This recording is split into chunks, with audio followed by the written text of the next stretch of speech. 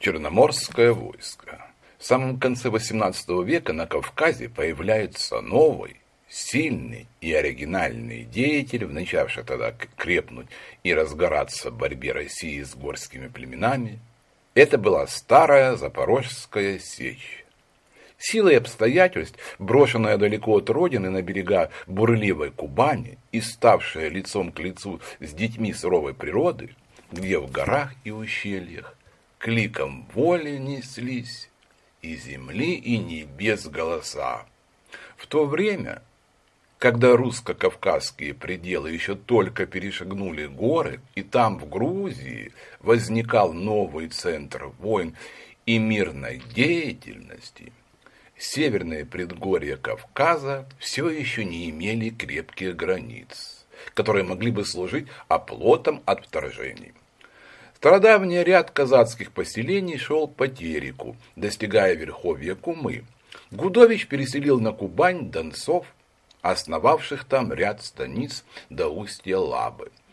А за устьем Лабинской станицы, вниз по течению Кубани, вплоть до самого моря, оставались привольные, но пустынные степи расстилавшиеся к северу до самого Дона и оставшиеся после выселения из этих мест Суворовым нагайских татар почти совершенно без населения. Но стоит только взглянуть на карту этого края, чтобы оценить всю необходимость для России укрепления за собой всего течения Кубани. К югу от низовьев этой реки простирались земли черкесов-адыги, расположившиеся на понижавшихся и сравнительно узкой полосой идущих горах Кавказа, за которыми в близком расстоянии шумело Черное море. С грозными на побережье его турецкими крепостями, Анапой, Суджукале и другими.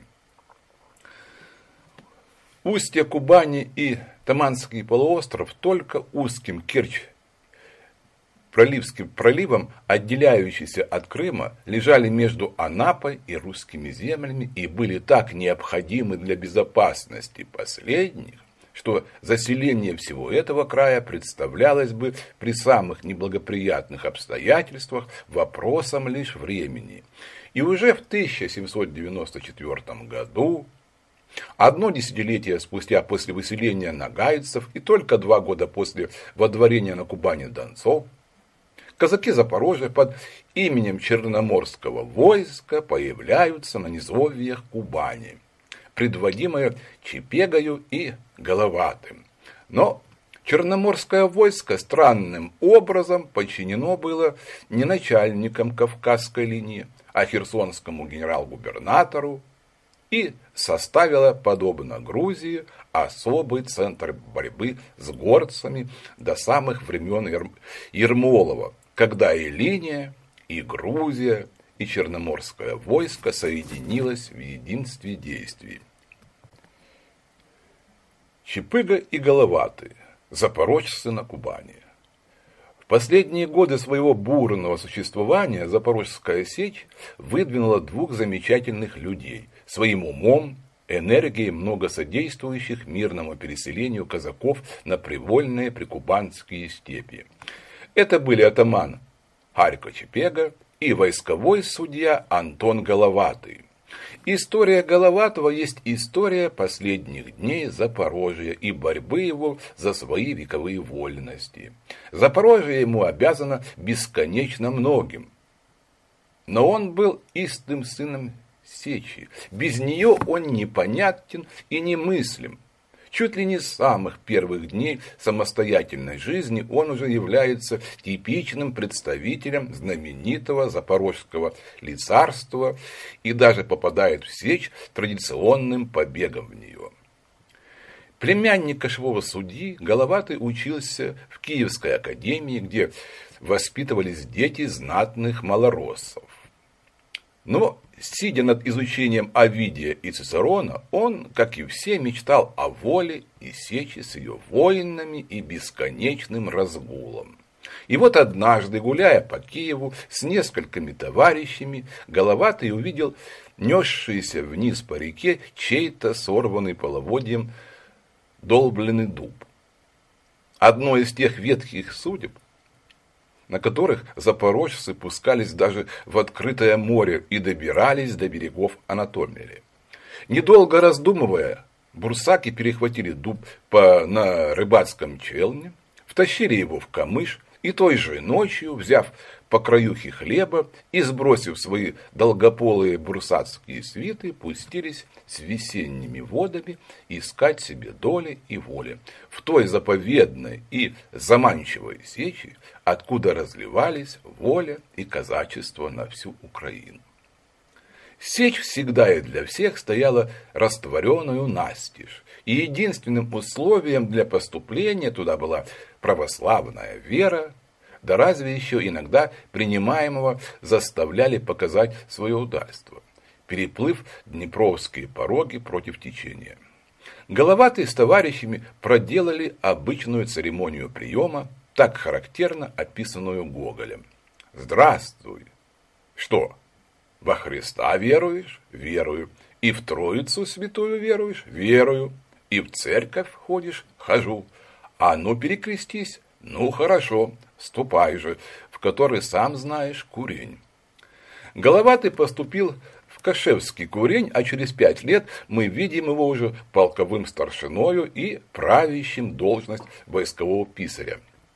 То есть, говоря по нынешнему, должность начальника штаба Запорожского войска. Для Запорожья наступали тогда трудные времена.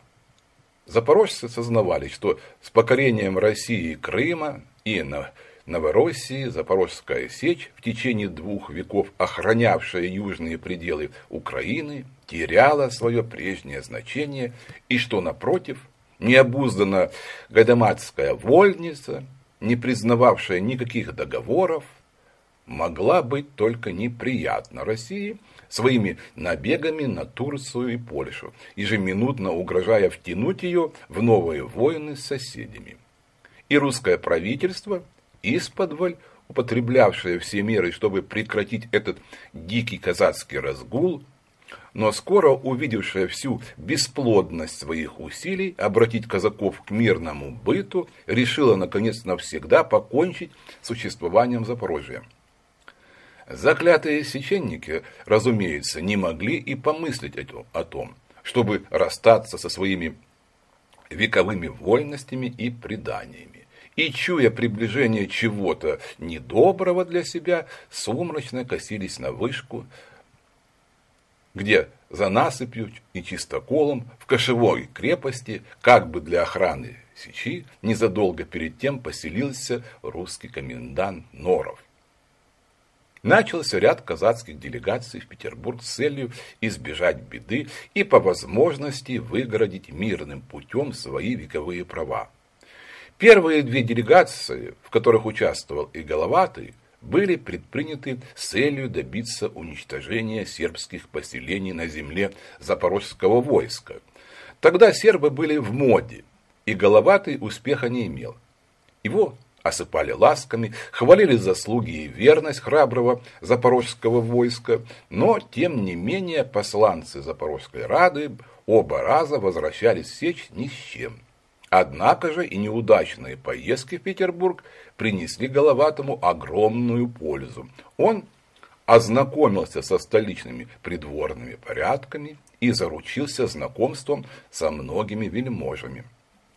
В третий раз делегация, состоявшая из Исаулов Сидора Белого и Логина Машенского и войскового писаря Головатого, выехала из, из Кош в сильную слякоть и стужу в начале октября 1774 года и только в декабре добралась до Москвы, где тогда находился императорский двор. Но и там делегация встретила большие трудности. Напрасно Головатый добивался свидания с Потемкиным, который в числе многих вельмож того времени был записан в войско и числился в кошевом курении под именем Грицка Нечеса, Потемкин был поглощен другими делами, а без него депутаты ничего не могли добиться. Выручило запорожцев остроумное слово одного из них. Однажды Потемкин случайно заехал казакам э, в Новоспасский монастырь и не застал никого из них дома. Ну, кланяйся куреному батьке, сказал Потемкин запорожскому сторожу. Да передай, что приезжал Грицко.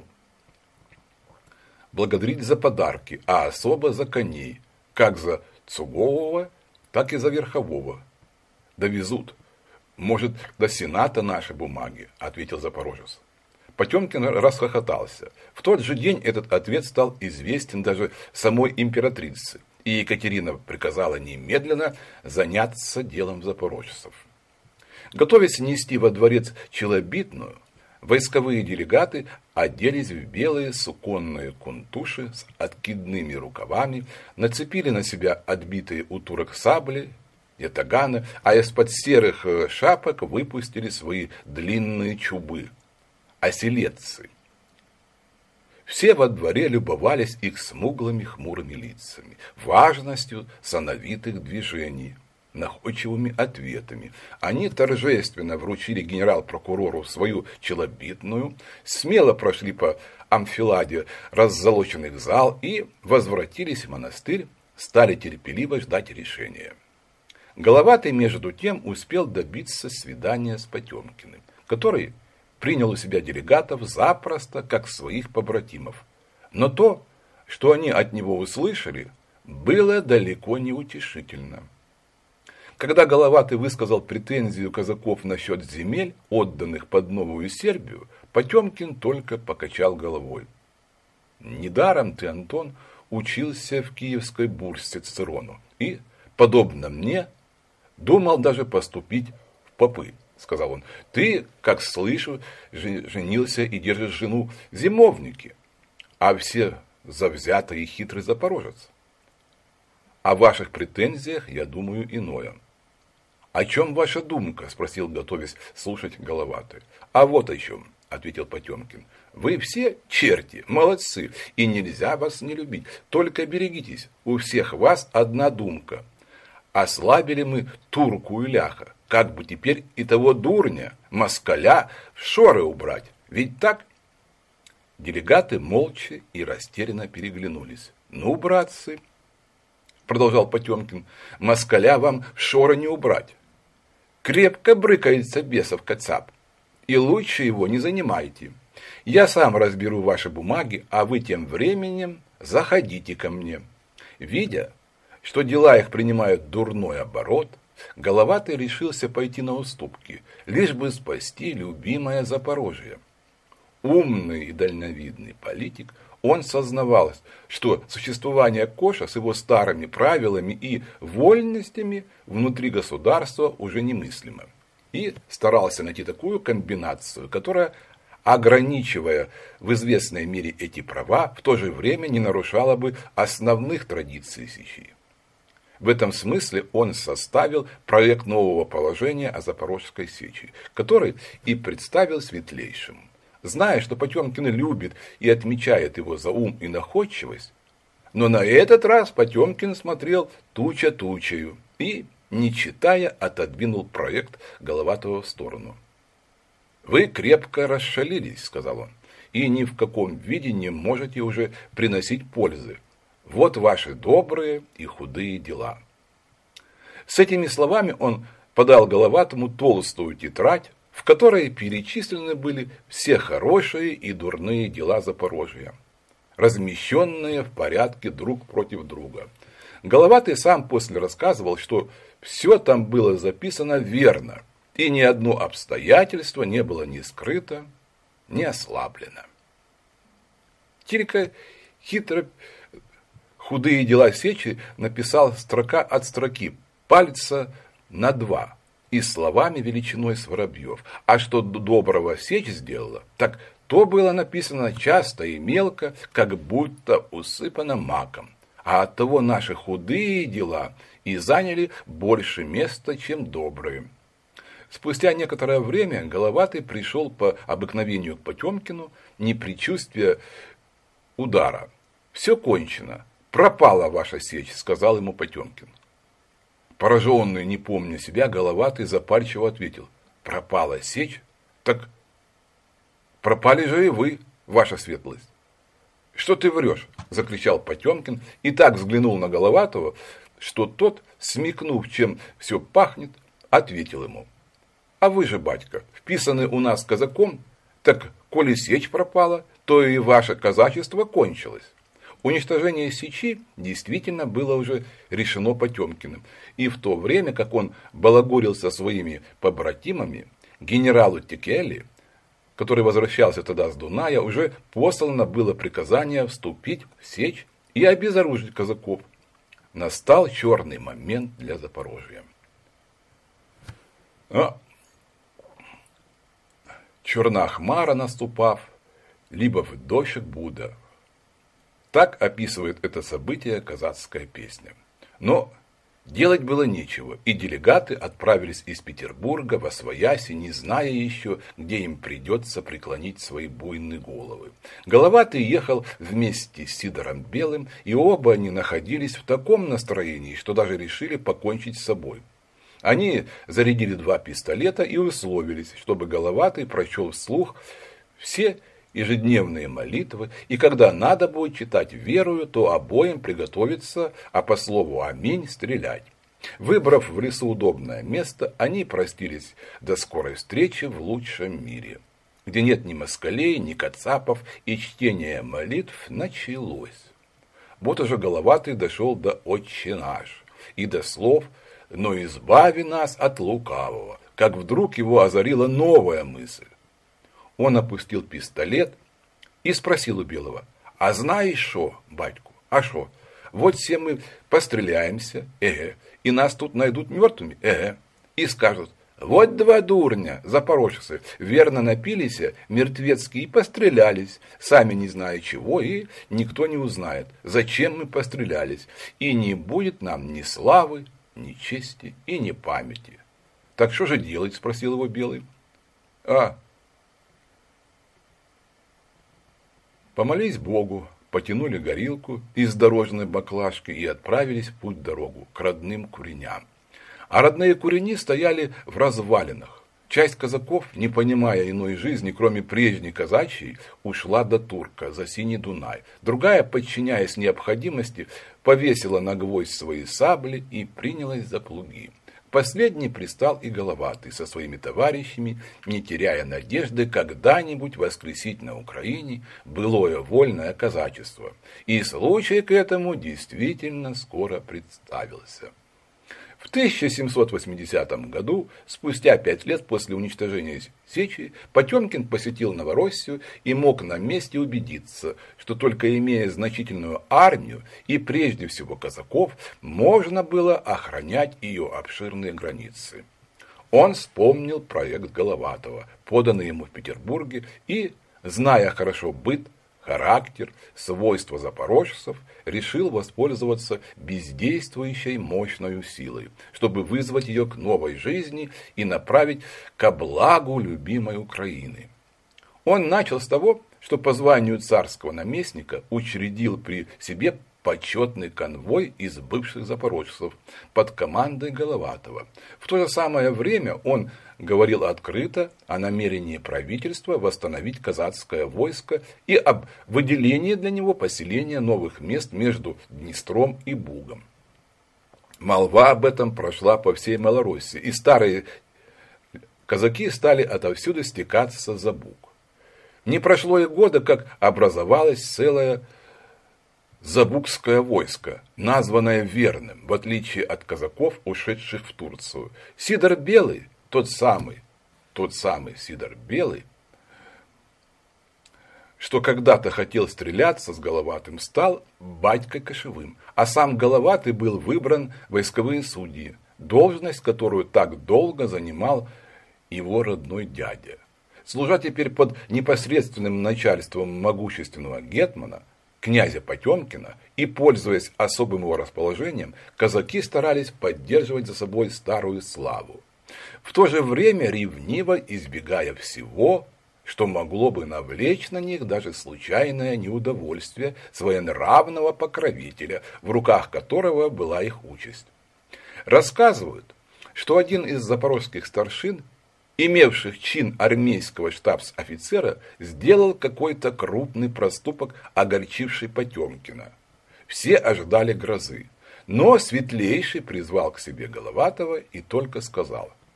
Головатый, пожури ты его по-своему, да хорошенько, чтобы впредь за ним этого не было. Чуема? Гетман, ответил Головатый, и на следующий день, явясь с рапортом, лаконично сказал. Исполнили, ваша светлость. Что исполнили? Спросил Потемкин. Да пожурили того по-своему, як вы сказали. А как же вы его пожурили? Расскажите мне, сказал князь. А як пожурили? Да так просто ж. Положили так киями, так ушкварили, що на силу він встав. Как? Старшину майора? Закричал Потемкин. Да как же вы могли это сделать? Правда? Так и на силу еще смогли. На силу четыре повалили. Не давався, однако. Да ведь он майор. Ну и что, что майор? Майорство при нем и осталось. Вы приказали его пожурить? Вот он теперь и будет крепко журиться, и за прежние штуки уже не примется. Ценя усердие и верность запорожского войска, Потемкин должен был оставить это дело без последствий, тем более, что и сам обиженный, чуя за собой вину перед войском, молчал. Между тем началась Вторая Турецкая война, и для нового запорожского войска настали времена побед и отличий. Его вел кошевой Сидор Белый, а под ним начарствовали Арка, Захарий Чепега, Запорожский, Запорожская конница и Головатой пехоты, и Грибной флотилии. Памятном истреблении турецкого флота 16 июня 1788 года в Днестровском лимане грибная флотилия верных казаков принимала самое живое участие. Сам Кошевой вместе с Головатым ходил штурмовать турецкие корабли и первый заплатил за победу собственной жизнью. Раненый смертельно во время абордажа, Белый скончался на третий день, завещав казакам держаться более всего старого уряда. По смерти атамана в войске образовались две партии. Одна прочила в кошевые Харька Чепегу, другая хотела Головатого. И тот, и другой пользовались равным уважением в войске, как лучшие представители Сечи. Но первый был исключительно воином, тогда как второй занимал по войску преимущественно административные должности, и потому после многих пререканий, споров и колебаний выбор пал наконец на Чепегу, которому – дала перевес его известная отвага в боях, ценившаяся в то время выше гражданских заслуг. Потемкин утвердил выбор Чепеги и в знак личного уважения к новому атаману послал ему в подарок дорогую саблю. Не лишнее сказать, что соперники остались между собой искренними друзьями до самой смерти. Между тем военные действия продолжались, и на долю казацкого войска выпало в них немало отличий. А осенью, во время осады Очакова, казаки совершили под руководством Головатого одно из тех замечательных военной истории дел, на которых с удивлением останавливаются и современники, и потомство. Осенние бури заставили тогда Гасан Пашу со всем турецким флотом удалиться из-под Очакова к Царьграду. Но Дорожа отличной якорной стоянкой, которая была у острова Березани, он укрепил ее береговыми батареями, а в самом середине острова построил целую крепость, в избытке снабдив ее артиллерией и всеми припасами на случай осады. Собственно говоря, Березань и ее батарея были безвредны и не нужны для русских, но Потемкин решил их взять во что бы то ни стало, рассчитывая этим поднять нравственный дух своих войск и поколебать мужество осажденных. Выбор его для исполнения этого отважного предприятия пал на «Головатый», — сказал ему однажды Потемкин, — «как бы взять Березань?» «Возьмем, батька», — ответил Головатый. «А что будет за то? Добавил он, улыбаясь. Будет, будет. Только возьми Березань. Хорошо, сказал Головатый и спокойно вышел из ставки Светлейшего. 7 ноября 1788 года грибная казацкая флотилия на глазах всей армии, несмотря на страшный огонь прибрежных батарей, пристала к берегу. И через несколько минут все эти батареи и сама крепость, взятые штурмом, были уже в руках казаков. Говорят, будто бы они подплыли к крепости, переодевшись в турецкие мундиры. 230 пленных, 23 орудия и несколько знамен достались трофеями в руки победителей. Овладев Березанью, Головатый оставил в ней гарнизон, а сам немедленно явился к Потемкину. Подходя к нему, он запел «Кресту твоему поклоняемся, владыка!» и, сделав земной поклон, сложил к ногам князя ключи Березанской крепости. Потемкин тут же навесил на него орден святого Георгия второй степени, а отряд, взявший Березань, назвал себя по имени крепости. Гордился этим названием и впоследствии на Кубани передал это имя одной из станиц на Байсуге. Другой раз небольшая партия запорожцев – на лодках пробралась к Измаилу и дала возможность снять на план все его укрепления. Потемкин приказал Головатому представить себе удальцов, кто участвовал в этом деле. И те наскоро отправились из лагеря в дорогу и явились Гетману прямо с лодок, обтрепанные, в порванных рубахах, иные даже босиком – Светлейший, вышедший к ним в богатом гетманском кафтане, в лентах и орденах, принял их за нищих. «А где твои храбрые молодцы?» – спросил он, оглянувшись на Головатого. «Да это ж преподобие они и есть», – ответил с поклоном войсковой судья. Неужели начальство поскупилось получше снабдить их в дорогу? А что же нужно, батька ты наш? Казаку, ответили запорожцы. Распытались мы у Коша. Кошевой сказал, идите с добрым человеком. Но мы и пошли. Теперь, князь, нема уже опаски, прибавил другой запорожец. Турецкая флотилия, як на ладони. Прикажите ваше, и побьем мы их. Потемкин тут же произвел несколько запорожцев в офицеры, а всей партии казаков, бывших в этой замечательной Э, реконсценировки велел выдать новую, полную по их обычаям одежду и сто червонцев на всех. Деньги и платья запорожцы, впрочем, пропили меньше, чем в трое суток, не выезжая из Яс, и ушли обратно, как приехали в лохмотьях. 18 ноября при истреблении турецкого флота под Измаилом и потом на штурме этой крепости они были опять главным виновником успеха и заслужили восторженную похвалу от Суворова. Ряд боевых отличий, оказанных казаками в турецкую войну, доставил ему назначение Черноморскому казачьему войску атаману Чепеги орден Святого Георгия третьей степени, а Головатому чин полковника и орден Святого Владимира третьей степени.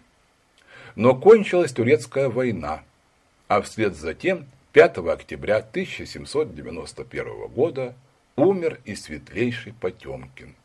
С ним умерли и все надежды юного черноморского войска, лишившегося в нем могущественного покровителя. Память своего гетмана верное черноморское войско сделало белое атласное знамя, которое и до ныне хранится в войсковом соборе. «И заплакали черноморцы», — говорит Короленко. Но не встал Грицко на зов любимого войска, которому было о чем плакать. Для черноморцев наступила пора невзгод, которую они пережили только благодаря духу единства, проникавшего к казачеству. Не успел умереть светлейший Гетман, как казаки путем еще не им вольных местах между Днестром и Бугом уже получили приказание готовиться к переселению на Кубань в обширные, пустынные и безлюдные пространства, лежащие в соседстве с черкесскими народами, от которых нужно было оберегать границу. Но вместо с тем пошли и недобрые слухи. что готовится более радикальная реформа, что казачество будет уничтожено, а из черноморцев образуют легкоконные полки, которые по очереди и будут посылаться из своего Забужие нести заурядную солдатскую службу на берегах той же Кубани. Казаки, не имевшие уже при дворе, как бывало, за ручки в лице Потемкина, встревожились. И как не тяжело им было бросать уже насиженные места, но они предпочитали лучше совсем переселиться на Кубань, лишь бы сохранить свой старинный казачий уряд. Что будет, то будет, а будет то, что Бог даст порешила войсковая рада и отправила депутацию с войсковым судьей Головатым к императрице просить отдать казакам прикубанские земли в их вечное владение. Приехав в Петербург, Головатый тотчас принялся хлопотать о скорейшем представлении его императрицы. Вельможи были в большом затруднении.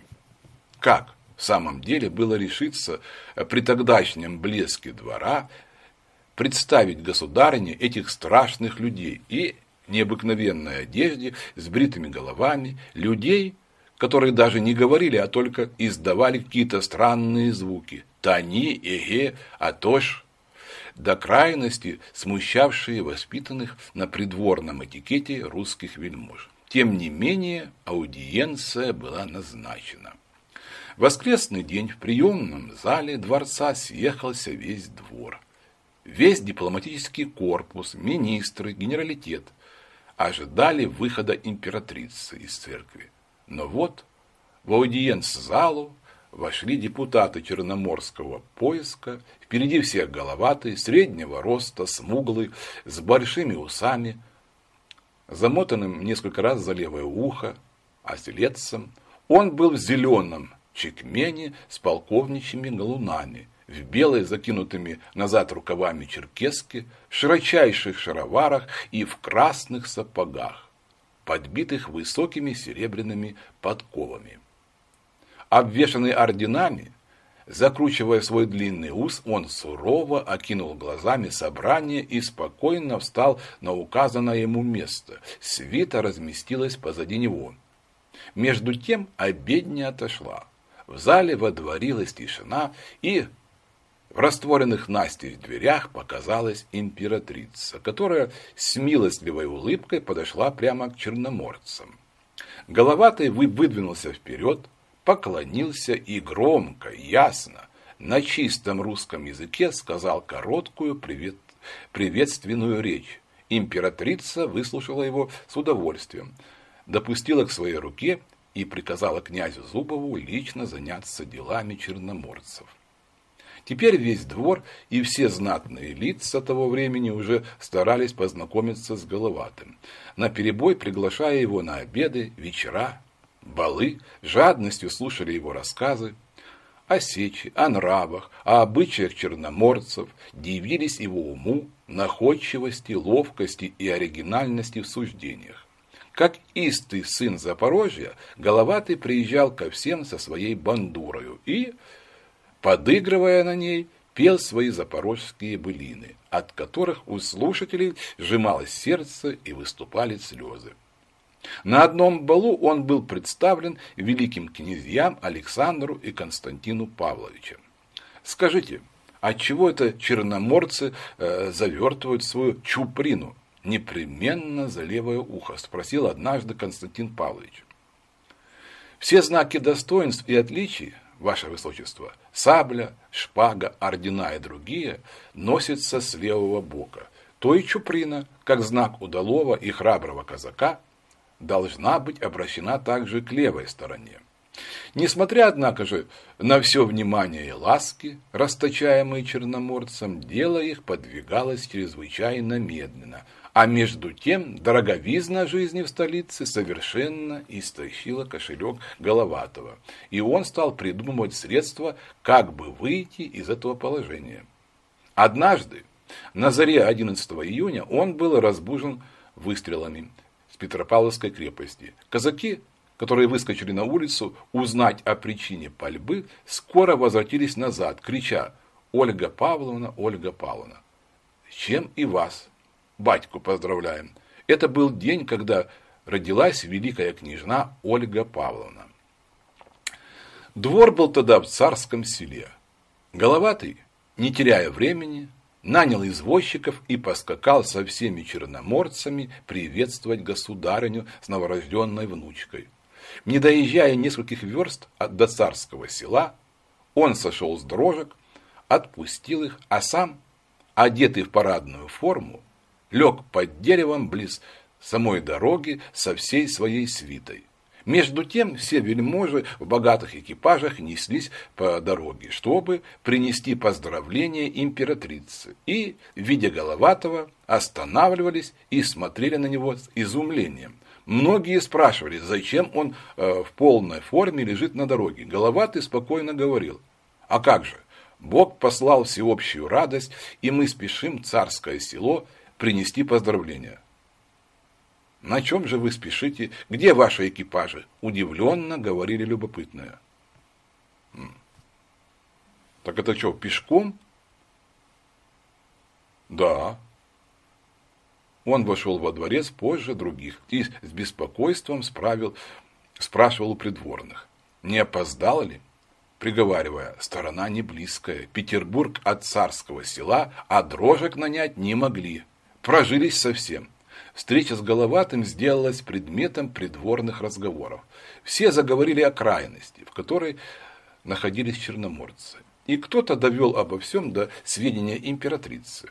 Это обстоятельство настолько подвинуло решение дела, что уже 18 июля Головатый вновь представлялся Екатерине, чтобы благодарить за милости, оказанные Черноморскому войску.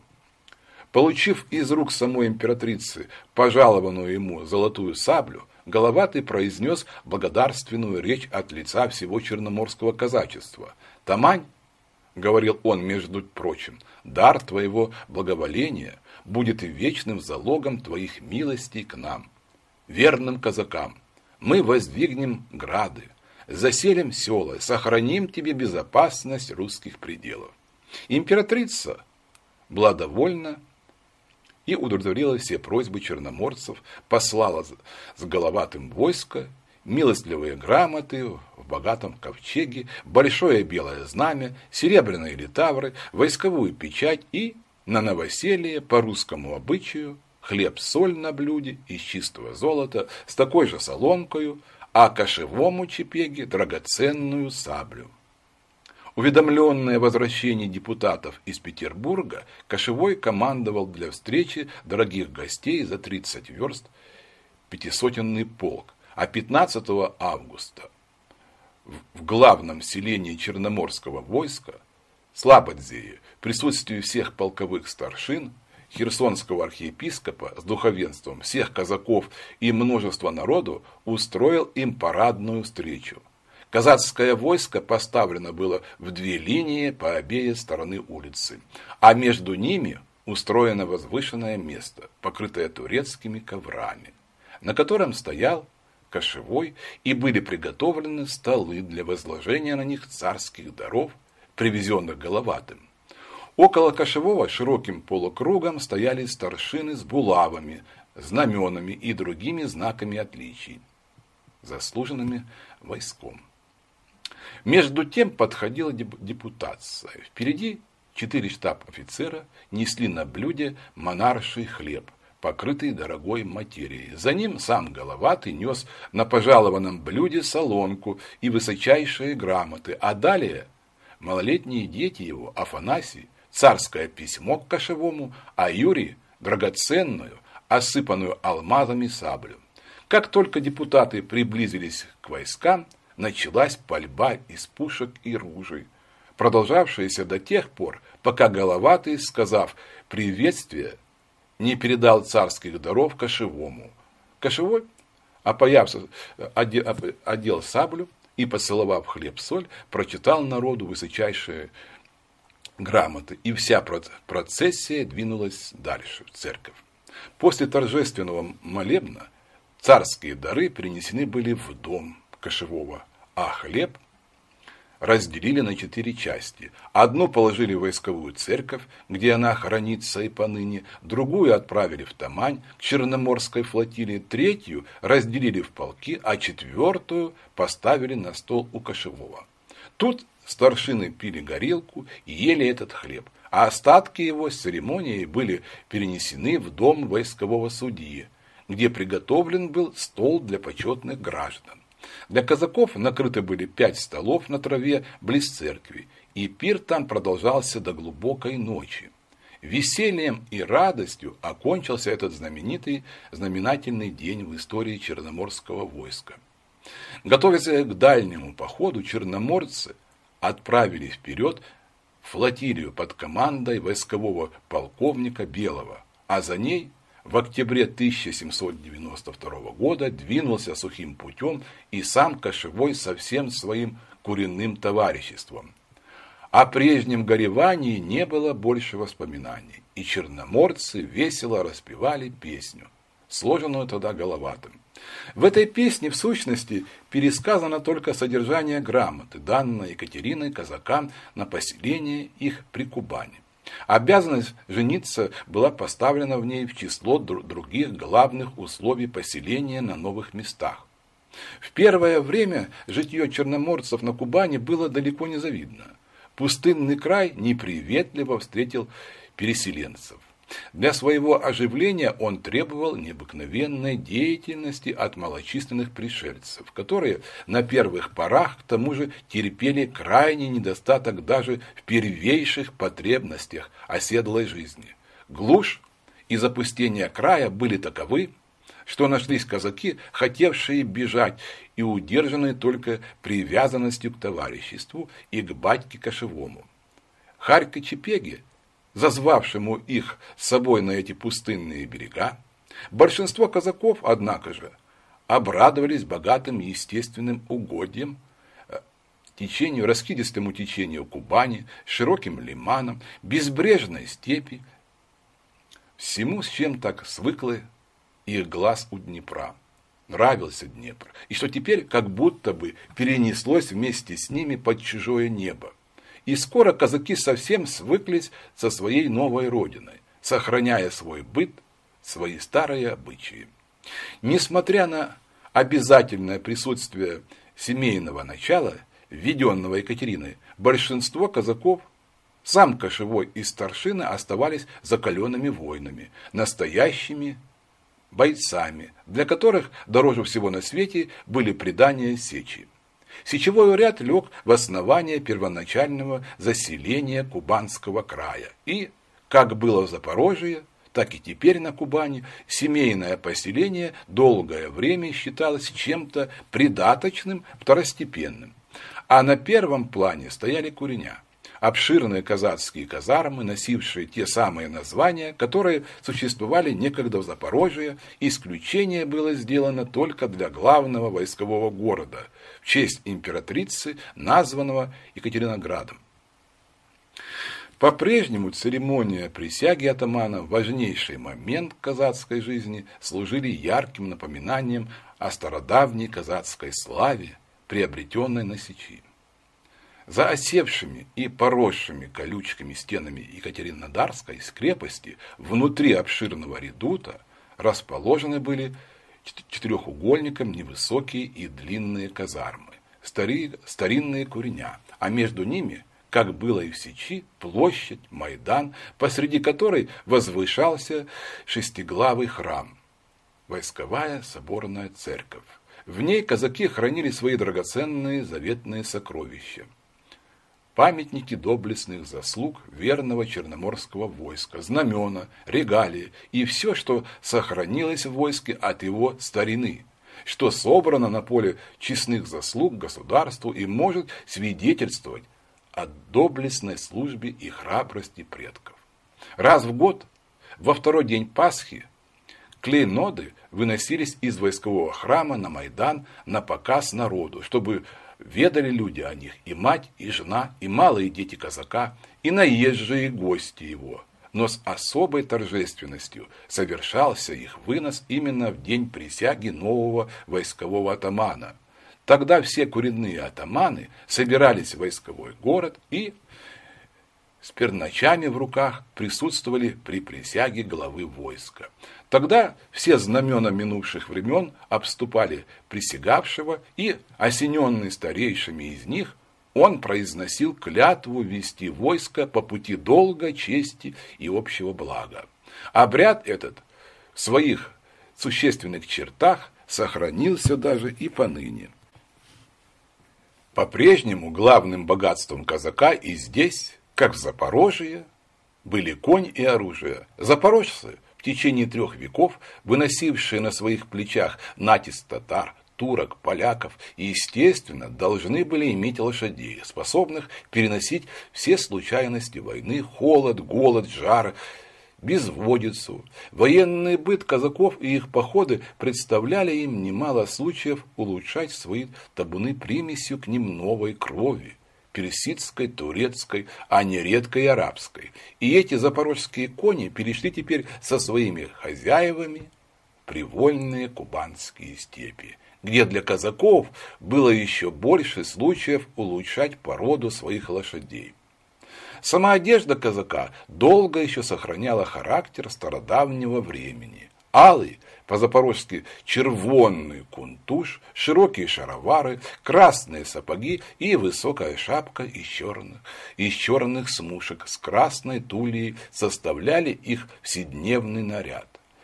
Дорогой узорчатый или парчевый кушак был предметом роскоши и стоил иногда дороже всего остального наряда. По кушаку узнавались знатные особы и старшины немало тратились на эту статью, чтобы поддержать свое достоинство. Вооружение состояло из винтовки, пара пистолетов, длинной казацкой пики и турецкой сабли. Была поговорка «конь татарский, мушкет немецкий, сабля турецкая», то справа молодецкая. Лучшее оружие было не куплено, не выменено, а добыто кровью от побежденного неприятеля. Впоследствии все это изменилось, и древний живописный костюм запорожца встречался только уже на одних стариках, не хотевших расставаться с кунтушом и по-прежнему ходивших с длинными, опущенными к низу усами, бритой головой и седым оселедцем за ухом. Не успели казаки осмотреться на новых местах, как уже кошевой Чепега с двумя полками должен был идти воевать с поляками. Труден был этот поход, вынуждавший их опять бросить дома, хозяйство, но и привлекательна была для многих мечта еще раз посетить тот край, который был переполнен стародавней славой казацких подвигов. Проводив свое войско, Чепега заехал с дороги в Петербург представиться императрице. Екатерина обласкала старого сечевика и из своих рук передала ему драгоценную саблю осыпанную алмазами. «Возьми, сынок, и бей ею врагов», — сказала императрица. Как исполнили черноморцы в Польше завет царицы, лучше всего видно из частного письма Харька Чепеги к одному из своих знакомых. Поход в Польшу был слава Вседержителю, нашему Богу, благополучный. Корпус наш под начальством генерала Дельфиндена шел до Слонима и мы, бывшие с польскими мятежниками на восьми сражениях, гнали их, як зайцев, аж до самой Праги, что насупротив столичного города Варшавы. И тут уже, по соединении с батькой, братом Александром Васильевичем, доклали их воза и всех неприятелей. В Праге бывших выкосили, а решту вытопили в Висле. Тут их наклали так, як мосту на Варшаву, як взяли з гармат стрелять, то вона за раз и сдались. Еще Чепега не возвратился из Польши, а казакам пришлось идти уже в новый поход. И Головатый повел еще два полка в персидский корпус графа Зубова. Сев на суда в Астрахани, казаки 21 июня 1796 года высадились в Баку, куда вслед за ними прибыл и главнокомандующий. Головатый встретил графа при ставке, а черноморские полки, выстроенные под развернутыми знаменами, приветствовали главнокомандующего тремя залпами. Довольный приветом черноморцев, граф благодарил их за успешный поход, осведомился о здоровье кошевого Чепеги, расспрашивал Головатого о делах на кубанской границе и, в знак особого расположения, приказал выдать черноморцам тройную винную порцию. В то же время он записал себя в черноморское войско войсковым товарищем, а сына своего – полковым Исаулом. В персидском походе, небогатым военными событиями, черноморцам, тем не менее, случилось не раз показывать казацкую доблесть, удаль. Так однажды партия казаков на лодках сделала поиск к персидским берегам, разбила несколько приморских городов, поселений, освободила множество пленных армян и, овладев целой флотилией персидских лодок, пошла назад к своей эскадре. По дороге их захватила страшная буря, и одна из лодок, на которой находились лейтенант и панчин, два матроса, восемь черноморских казаков и несколько армянских семейств, была отнесена течением к Персидскому берегу. До полутораста э, человек персиян, заметив русское судно, боровшееся с бурей, тотчас бросились в лодки, чтобы завладеть им, как легкой добычей. Лейтенант Япончин и оба матроса, кинувшись в шлюпку, бежали, а испуганные армяне спрятались под палубу. Но черноморцы выбрали из своей среды предводителя, казака Игната Саву, и приготовились к бою. Как только персидские лодки стали сближаться с казацким судном, и неприятель открыл батальный огонь, казаки со своей стороны ударили из ружей с уговором без промаху. Первым же залпом они уложили персидских начальников, а потом, как отличнейшие стрелки перебили по выражению Головатого и всех остальных. Смущенные персияне, укрываясь за бортами, стреляли на ветер и, наконец, бежали, видя, что казацкие пули производят в рядах их страшное опустошение.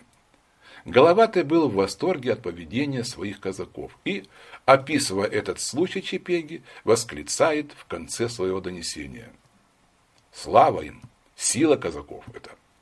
Но были в этом походе и грустные факты.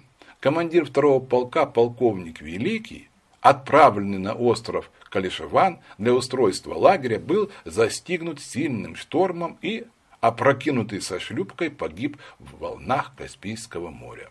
Другой командир полка, полковник Чернышов, вместе с частью своих казаков, со знаменем, куренным перенчаном и с иконой, которую благословил их таврический военный губернатор, пропал бесследно на переезде к острову Сара.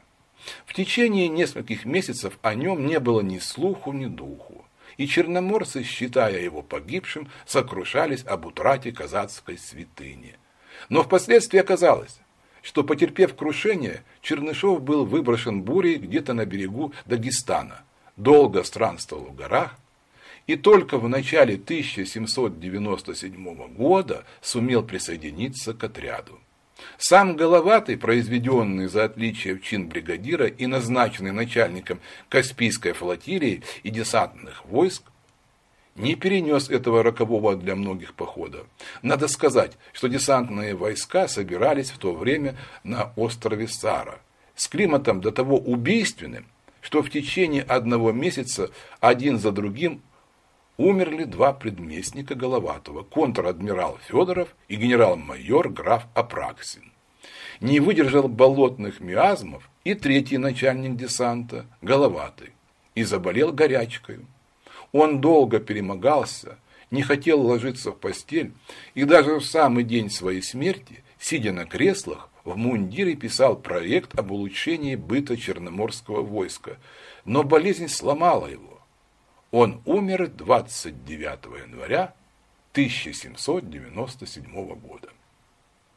А на Кубани, в самой земле Черноморского войска, почти в то же самое время, 14 января 1797 года, умер и Чипега.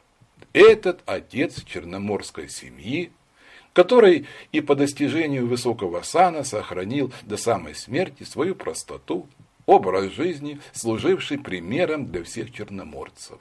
Мир праху твоему, знаменитый Харька, основатель рассадника доблестных черноморцев на негостеприимных берегах Кубани. Так говорит о нем историк черноморского войска. Когда выбирали нового атамана, общее желание войсковой рады указало на Головатого. Не знали казаки, что нет уже в живых их Головатого. Чепега и Головатым оканчивается привилегия казаков выбирать себе кошевого атамана, который с этих пор назначает, назначается уже самим императором. И первым назначенным атаманом был войсковой писарь Тимофей Терентьевич Котляревский. Что за личность был этот Котляревский, сказать довольно трудно по отсутствию о нем всяких исторических данных. Но одно уже то, что он был первый батька-атаман, выбранный неволей самого товарищества, предрасположило против него сердца старых сечевиков. Теперь более чем когда-нибудь желавших сберечь и укрепить за собой все, что было так дорого им там, на старых днепровских порогах. И случай выразить Котляревскому их общее неудовольствие скоро представился. Возвращаясь из трудового персидского похода и подходя к Екатеринодару, казацкие полки ожидали, что их встретят по старым обычаям, с известной церемонией. Котляревский, между тем, об этом не позаботился и показал совсем не похвальное равнодушие к, воен... к военной славе целого войска. Так, по крайней мере, взглянули на это дело сами черноморцы. Оскорбленные в самом дорогом для них чувстве, воинской чести, казаки вышли из повиновения своим старшинам и многих из них поколотили. Не миновать бы того и самому Котляревскому, если бы он не скрылся в усть Лабинскую крепость, откуда возвратился уже святским пехотным полком, принявшимся по-своему усмирять черноморцев. После этого случая Котляревский уехал в Петербург и большую часть своего атаманства провел в столице, высылая войску целую массу приказов, письменных распоряжений, в то время как между черноморцами и черкесами уже завязалась упорная борьба. Котляревский пробыл атаманом только до 1799 года, когда преклонные лета заставили его просить увольнения от должности. Император предоставил ему самому назначить себе преемника, и выбор его пал на войсковом полковнике Бурсака. Бурсак начинается новый период Кавказской войны на кубанской границе. Когда черноморские казаки поселились на Кубани, Одним из первых дел их на новой родине было создать храм всемогущему Богу. В Екатеринодаре, ставший собором всего Черноморского войска, в 1879 году обветшалый храм этот перестраивался. И вот когда разбирались его стены, в склепах под ними открыты были три гроба, из которых в первом найден кусок, свернутый на манер широкого персидского пояса парчи, в среднем золотое шитье от воротника, а в третьем небольшой образ, живопись на котором уже совершенно почернела до неузнаваемости. Есть свидетельство, что первый из этих гробов хранил бренные останки атамана Черноморского казачьего войска генерал-майора Захария Алексеевича Чепыга. О двух других гробах исторических известий нет.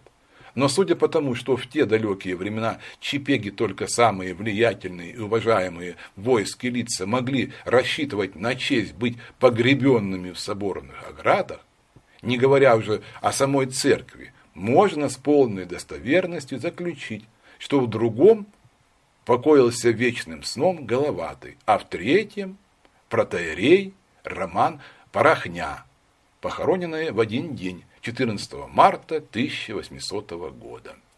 И эти немые свидетели прошлого громко и ясно говорят нам о характерах и делах людей того старого века, в гробе генерала Чепеги нет ничего, кроме знака казацкого отличия – пояса. Покойный атаман был враг честолюбивой роскоши. Котляревский был уже другой человек и человек другого времени. По словам историка Черноморского войска, еще занимая пост войскового писаря, это был уже не товарищ казак, а деликатный вельможа того времени, который пользовался благоволением императора Павла и далеко не бывший так прост в образе жизни, как его предместник, казак Чепега. И вот в гробе его останки пышного, шитого золотом генеральского мундира, со скромным служителем церкви, пришедшим вместе с казаками из-за Буга и посвящавшим всю жизнь свою молитве за родных черноморцев, в гробу лежала эмблема веры и молитвы. Так и сами эти гробы служат для нас красноречивым свидетельством, что слава в потомстве следует за теми, кто живет не во имя самолюбивой гордости, а во имя блага своей отчизны и своего народа.